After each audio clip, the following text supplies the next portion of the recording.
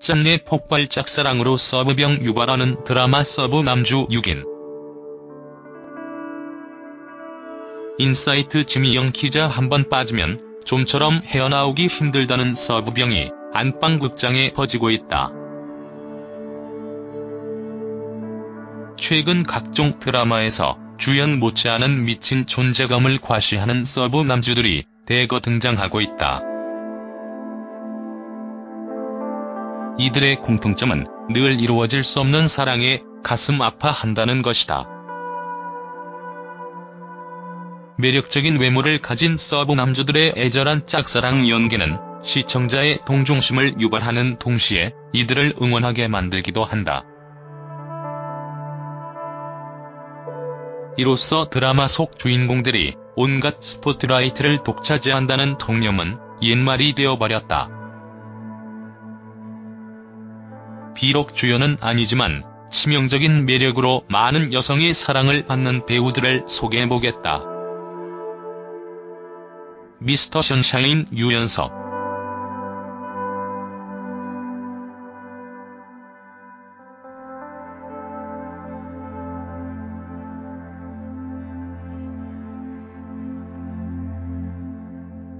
TVN 미스터 션샤인에서 구동매 역을 맡은 유연석은 절절한 짝사랑 연기를 선보이며 화제를 모았다. 극중 백정의 아들로 태어난 유연석은 양반집 아기씨 김태리를 사랑하지만 신분의 벽 앞에서 무너지고 만다. 심지어 김태리에게 따귀를 맞고도 웃는 모습을 보이면서 그를 향한 애틋한 마음을 드러냈다. 내 아이디는 강남민 곽동현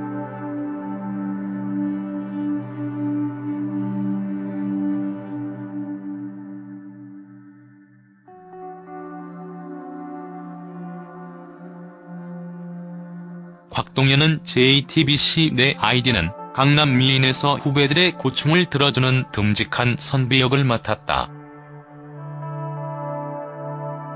특히 그는 임수영에게 지극한 관심을 쏟으며 극전개에 힘을 실었다. 곽동현은 실험실에서 다친 임수형을 걱정하는가 하면 그와 단둘이 있을 때 묘한 분위기를 자아내기도 했다. 응답하라. 1988 류준열.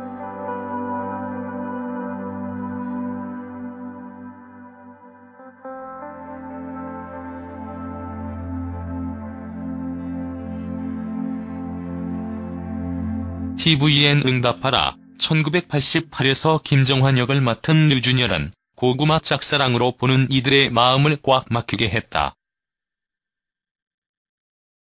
그는 해리를 짝사랑했지만 표현력이 부족했던 탓에 겉으로 티내지 못했다.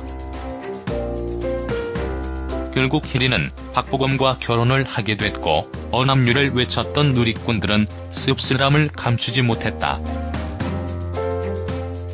당신이 잠든 사이에 정혜인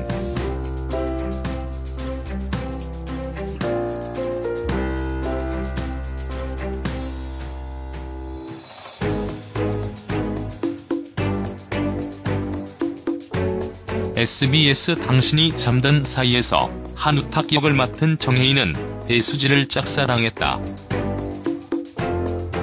정혜인은 배수지가 자신의 어깨에 머리를 기대고 있는 듯한 그림자를 발견하자 몰래 사진을 찍으면서 행복해하던 모습을 보였다. 특히 정혜인은 극중에서 훈훈한 경찰로 출연해 문 여성을 설레게 했으며 재봉남이라는 애칭도 얻었다. 고백 부부 장기용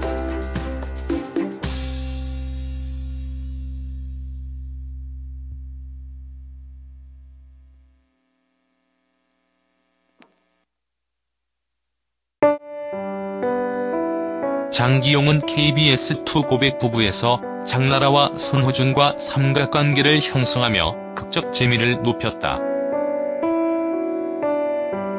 다소 서툴지만 진심을 다해 자신의 사랑을 표현하는 장기용의 모습에 시청자들의 마음도 흔들렸다.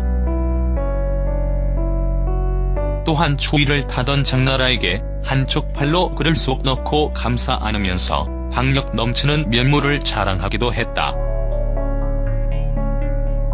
사랑의 온도 김재욱